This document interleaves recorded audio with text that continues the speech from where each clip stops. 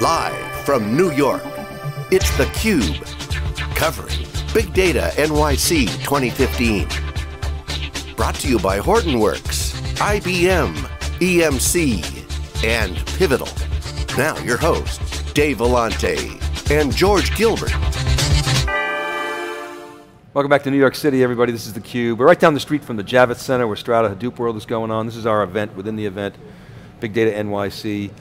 theCUBE goes out to the events, we extract the signal from the noise. Peter Goldmacher is here, he's the CMO of Aerospike, friend of the cube, friend of SiliconANGLE Wikibon. It's great to see you again. Good to see you. Last year, just about a year ago, we were up, we had that great panel that you participated yep. in with Amy yep. O'Connor and Abhi Mehta, and sparks were flying, and now you're back in the technology world uh, with Aerospike, a company that you know, we know pretty well, we've been tracking for a while. So how's that going? Uh, it's going great. Um, as you can imagine, startup life is dynamic. Mm. Um, last time we talked, I was running marketing, now I'm not. So um, I, I joined eight months ago as head of strategy. We had um, a new CEO, I came in with him. We changed the organization around a little bit, and now we, we brought in a proper head of marketing. So I'm back to nice. just the strategy role, which better for me. But it's great, you know. Um, I was on research. I was on uh, Wall Street as a research, research analyst for a long time, like George, and it's a great opportunity to see the world and um, taking that knowledge and coming back into industry. I, I, cut my teeth at Oracle in the 90s. Coming back into industry, especially the company like Aerospike that's so unique and so differentiated in what we do, and try and get the word out and try and make it a commercially successful business. Uh, certainly is a challenge, but it's an enjoyable challenge. So challenge. let's talk a little bit about the uniqueness. I'd like, like to do a couple things. Aerospike, the uniqueness of Aerospike, where you guys are winning, um, some of the use cases that you're taking down, how you're different from the other guys, and if we yeah. have time, then I want to get your perspectives on the rest of the industry, because there's a lot of interesting yeah. stuff going on. Mm -hmm. But so let's start with Aerospike. Yeah, so um, one of the things we didn't have when, when John Dillon got there and when I got there two weeks after John was we didn't really have uh, an identity we were just another NoSQL database and we were going to market like all the other NoSQL databases. And pretty quickly, we looked at our customer base, which at that time was about 85 customers, and said, what is it all these guys have in common? And what they had in common is they needed to take an extremely large data set and run pretty complicated rules engines on top of that data set to get very high quality answers based on a large set of data. So you know our, our uh, first success was in um, ad tech.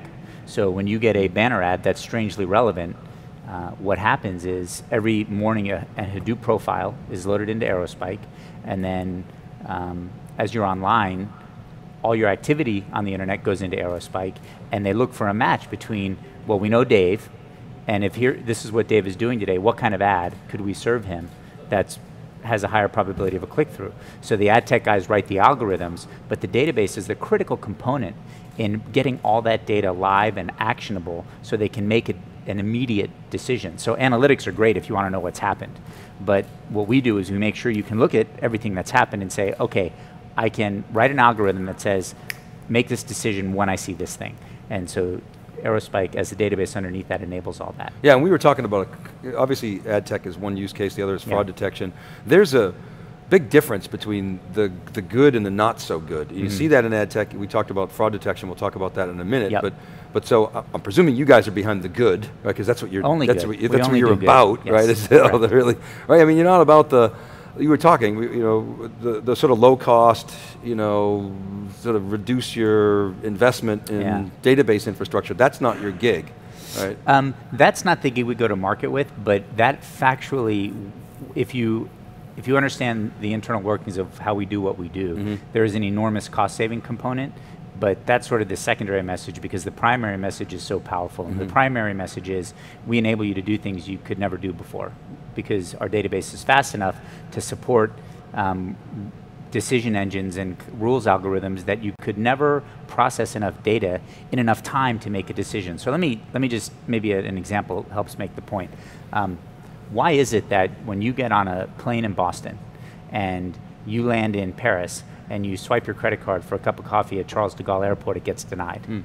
Well, all that data exists. I know who you are. Uh, I know you bought a plane ticket to Paris because I've got the credit card transaction. I know you're staying at the Georges V because you booked the hotel.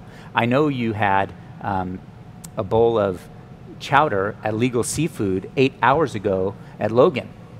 So when you land, all the data exists. I know it's you. It is knowable that it's you. Why, why can't I approve that transaction? You can't approve the transaction because in the old world, you can only write a rules algorithm that's sophisticated enough to handle the amount of data that you can process in a very tight time window. For credit cards, it's usually about half a second to three quarters of a second because the database is slow. The reads and writes to the database to populate the rules engine is slow. So if I can guarantee you that same SLA of a half a second or three quarters of a second and the opportunity to look at much more data and write a much more complicated rules engine, instead of just saying, uh, okay, this is Dave's credit card, is he current on his payment? Um, is he over his credit limit? Is he in Bulgaria? You know, very simple questions. I can now ask all of those things, and I can also look at all the other data I know. Where is he? What what charges has he charged that might correlate this transaction? Is he using a device that's familiar to me? Is he using a vendor that's familiar to me and a known risk? Um, is he using an IP address? So all of a sudden, the opportunity to look at all that data, you get much better scores. And for credit card risk and fraud, this is 100% margin stuff because the biggest problem in the credit card business is not fraud, it's false negatives. Because if you're doing a transaction and it's valid and I deny it, that's money off the bottom line. Right. And so one other very uh, common trait of all our use cases is it's all mission critical. All of this stuff directly impacts revenue. It's not a content management system or a product catalog um, it is revenue impacting stuff. Yeah, so I love the story, and you're right. I mean, the, the, the, database business is so crowded. If you want to go to market with another, yet another NoSQL yeah. database, you just get lost in the crowd. Yeah. You know, that's great going over there and you know yapping yeah. about it. But everything yeah. you just said is about you know, changing business outcomes and mm-hmm. driving mm -hmm. value. Speed so, at scale. So how's speed at scale, how's it resonating, you know, with customers, particularly in the financial services industry? I mean, I, I was giving you my example of some of my frustrations, because yeah. fraud detection is so much better now than it was 10 years ago, where you had to wait six months and maybe you'd find out because you yeah. were sampling data. Okay, that's great, but now, um, now that we're in that semi-real-time zone, I'm really not satisfied. Can you make a dent in that? Yeah, so one of the things um, that's happened over the last eight months since I've joined is we've uh, completely changed the sales and marketing team and the go-to-market strategy. And we now realize there is an enormous opportunity in a couple verticals. Um, ad tech, which we dominate, uh, financial services, and telecom. Mm. So we are going after primarily those three verticals. And what's interesting is if you look at the Mongos of the world and the DataStax and the Couch of the world, these guys have a completely different game. They're an Oracle alternative they're saying, hey, look, the product, the, the database is no longer a product, it's a category. And if, if you are doing something that's not ideal for Oracle, is there a better, cheaper way to do it? If you're building um, a product catalog, content management, you know, Mongo is a great solution for that. If you have a large amount of data you're trying to get written really, really quickly, Cassandra is fine.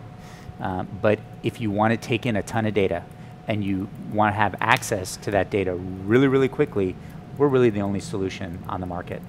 And, and that's what we specialize in, high performance NoSQL. All right, great. Well, so tell us like, um, is in, in, you gave us a great example for financial services. Yep. Um, in ad tech, so mm -hmm. let's assume there's that same budget of X, you know, a couple hundred milliseconds. Mm -hmm. um, what, what can you do better that you know, when you, when you can reduce, um, well, if the database has the, the, the same budget in terms of mm-hmm. within that, say, 700 milliseconds, mm-hmm. how much better can you do the targeting? You know, the pro. What, so what's the profile that, that you know better? I'm, I'm, glad you I'm glad you asked that question. So, the the um, SLA in the fraud world is half a second to three quarters of a second. The SLA in ad tech is 10 milliseconds to 100 milliseconds. So it's for the, just the database part? For the whole thing. Oh. The whole thing. Oh, I mean, wow. you got to get that ad up because you got to okay. bid for the ad, you got to serve the ad. Yeah, I mean, yeah. there's a lot of things that happen. So you're asking how do we add value in that process? We yeah. don't write the algorithms. So we've got customers like eXelate and AppNexus and Tapad and uh, you know big big uh, uh, concentration of customers in right here in Manhattan, and their um, their secret sauce is the algorithms they write. So that's a great question for them. But when they come to us, they know that whatever they write, whatever correlations they write, whatever rules they write, we can get them enough data to populate that engine and get a response in that extremely tight SLA. So remember, we're only a database, but we enable this next generation of applications that is um, embeds analytics, but correlates it against what's happening right now. So um, Dave, you and I have talked about this whole Gartner uh, discussion of hybrid tran transaction analytical processing. Mm -hmm. To us, that's crazy talk, right? Because if you have one database that does both things, that's fine if your SLA is like four days. Our SLA is, again, sometimes microseconds, frequently milliseconds. Yeah, that's anathema to you guys. So uh, it just, it just, that's just not the world we play in. That's yeah, just and, not. And the, the Tapad guys, I think, were telling me. I don't remember the exact data, but he was telling me that they essentially apply that algorithm and, and reprice mm-hmm. their ad by like yeah. literally thousands of yes. times a day. Yeah, it's a market. Versus you know some of the competitors, which is once or twice a day, maybe, mm-hmm. if they can do that, because mm-hmm. these humans doing it. Yeah. You know, and so that's pretty pretty stark. And now, what about uh, telecom? Is that customer churn stuff, or is it? So, so I'll, I'll, give you a telecom example. Telecom, I think we all fraud and telecom we all relate to. So uh, we have a customer, Alcatel-Lucent, and Alcatel-Lucent is actually a reseller of billing systems to all the carriers, AT&T, Verizon. So all of us have had the experience where you get a text message that says, hey George, uh, you're about to go over your data limit on your plan. Do you want to buy a gig for 15 bucks? We've all gotten those texts. Right. Um, that's because they can't be more specific because they have their usage in one application and they have their customer billing and customer profile in another application, right? So they say if anyone's going over a limit, doesn't matter who he is or what the plan is, sell him a gig for 15 bucks. But if you get if you pay 15 bucks for a gig and then your billing cycle ends a day later and you use 25 meg, your good and warm feelings that you usually have towards AT&T are tarnished a little bit, right? So they write, they've written a new application on Aerospike that says, look, let's correlate um, data usage and the billing plan. And if you uh, remember, the old billing plans were on uh, voice minutes. Now it's all about data and the amount of data that we're charting. And it's the data set has exploded, right?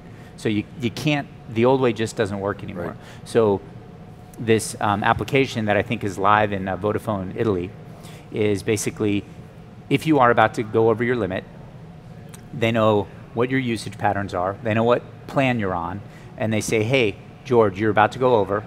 Um, I know you've got two days left in your plan. I know you're going to use about 50 gigs. Do you want to buy uh, 50 meg? Do you want to buy 100 meg for two bucks? So you think, well, why would they sell less when they could sell more? The whole point is if they can reduce churn, if I can reduce, his, reduce George's churn on a $200 a month plan by one month, that trumps any 15 dollar a gig that is going to cause him to churn early. So what we love about that story is this is a this is a really different way to think about things, right? You have an opportunity to do something you've never done before because you're thinking, boy, I could write a completely different kind of application if I could get all this mm. data and process it really, really quickly. So we love that example. How about that? Telco's deciding it's good business not to screw the customer. So. you know, the, the examples you're giving us are very, um, they, they have, you know, quantifiable business mm-hmm. outcomes. Mm-hmm. Yes. And it's hard at infrastructure software to, to sort of sell on business outcomes, or I should say to price. Yeah. Um, we also have this sort of thesis that we're going through this slow motion price collapse in infra- yes. infrastructure software. Because yeah. even if you're not open source, you know, you're competing against open mm-hmm. source.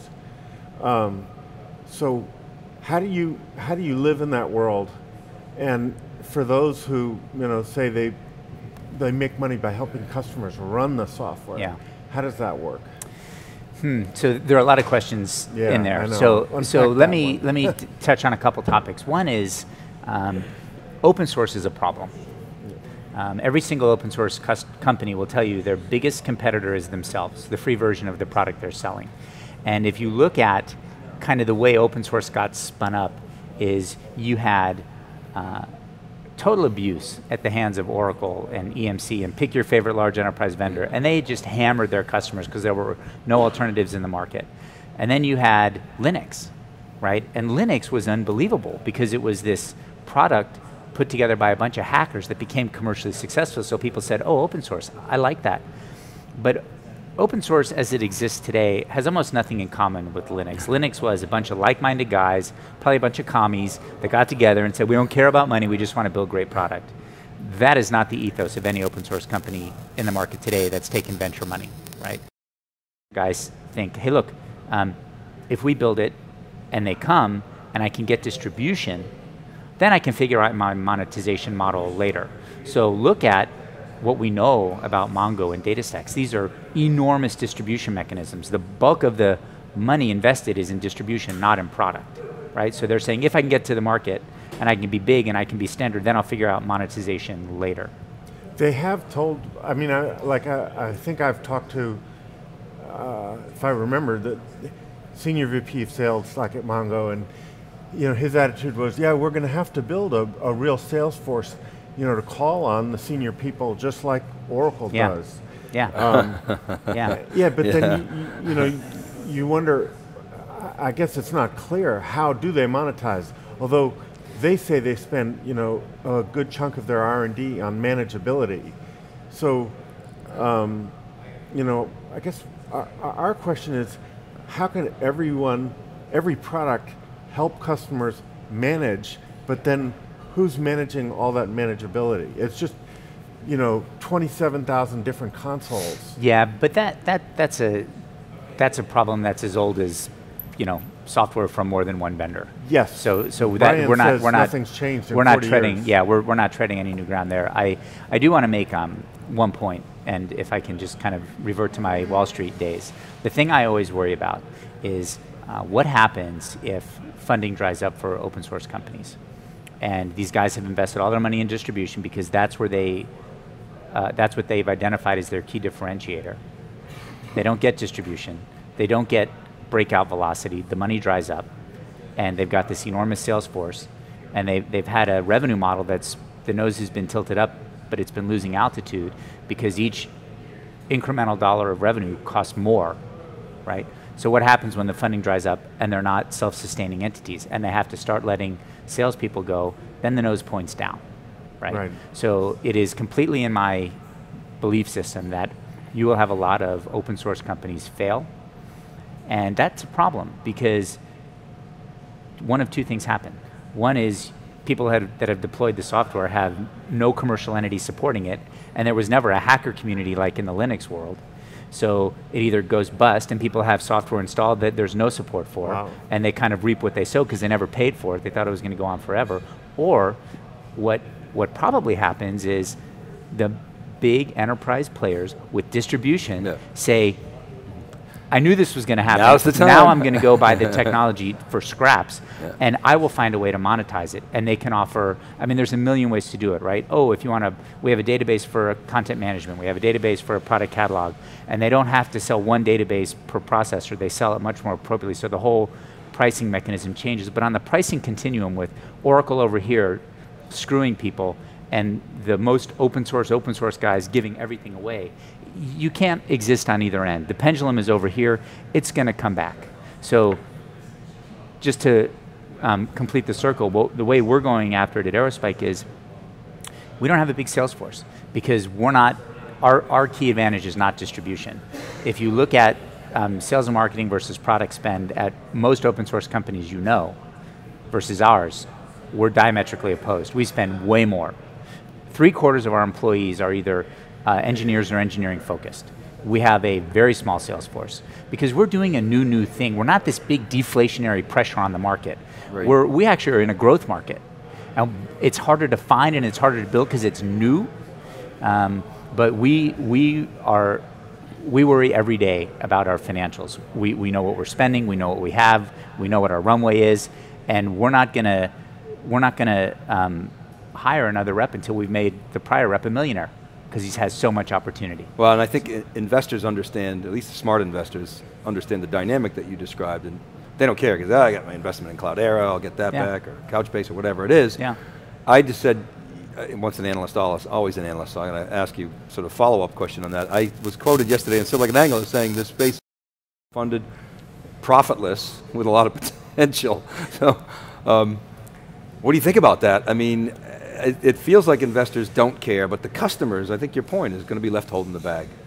Well, Um, I, I'm not overly sympathetic for the customers because there's no such thing as a free lunch, Yeah, right? you know, it's it's wonderful that the venture community is funding all this opportunity, and there are going to be a couple companies that come out of this that have unbelievable product, Yeah. and it's it's going to be really really good. But it's the very typical venture model where I'll fund 10, one works and pays for the other nine wipeouts, Yeah. and I don't know why it would be any different this time. Hmm. So, are they going to be using software that's unsupported and kind of, yeah, probably. But if it's important enough, something will happen, right? I mean, if there's if there's good technology and it's solving real problems, something something good will happen. Good. All right, Peter, we got to leave it there. Yeah. Uh, great to see you. Thanks Yeah. very much for Okay, stopping by. great. Thanks, Always a pleasure. Thanks, George. All right, keep right there, buddy. We'll be back with our next guest. Right after this is theCUBE. We're live from New York City. Right back. Live from New York, it's theCUBE. Covering Big Data NYC 2015.